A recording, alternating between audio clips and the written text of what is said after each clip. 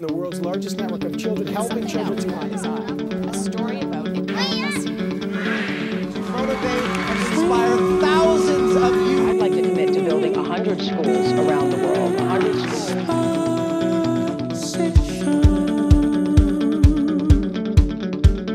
You were so impassioned, both of you, and now this has become your life work. Our world doesn't need a small change. Our world needs a massive change.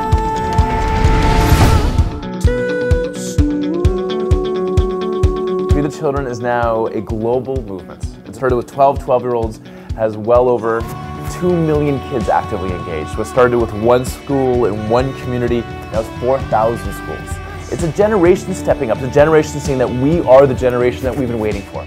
Free the Children has two parts of its mandate freeing kids internationally from poverty, exploitation, the lack of access to education.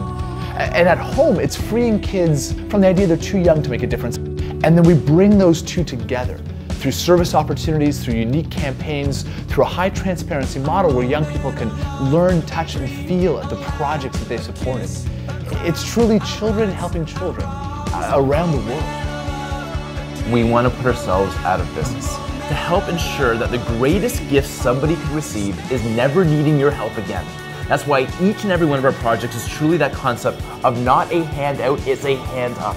It's giving people the dignity so that they can afford to send their kids to school, afford to have food on the table, afford basic medical care, be able to go get clean water, and basically at the end of the day, ensure that they themselves can be empowered to break that cycle of poverty, which has often lasted for generations. Me to We came from a moment of panic. We were in Sierra Leone, West Africa, one of the poorest countries in the world. Uh, Donations had dropped to that country after the brutal civil war. And we looked at each other and said, why don't we earn the income to sustain our projects? Could we create socially responsible products and services that actually support the work of Free the Children?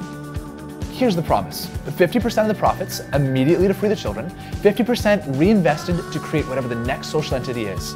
Me to We has given literally millions and millions of dollars to Free the Children, has been able to help bring our already low administration rate down to now 10%, and to help to ensure that the work of Free the Children is economically sustainable.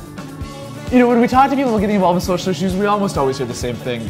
I'm only one person. What difference can I make? And so that's why we created a We Day. When you step into a stadium with 20,000 others who are there for the exact same reason you are, well, it's inspiring. And you realize you are not alone. You can't buy a ticket to We Day. And you have to earn your way through one local and one global action of your choice. Well, and you're there with 20,000 people in the stadium. You're there with 100,000 across the country, three countries connected in this movement, millions on Facebook. You can change the world. That's the promise of We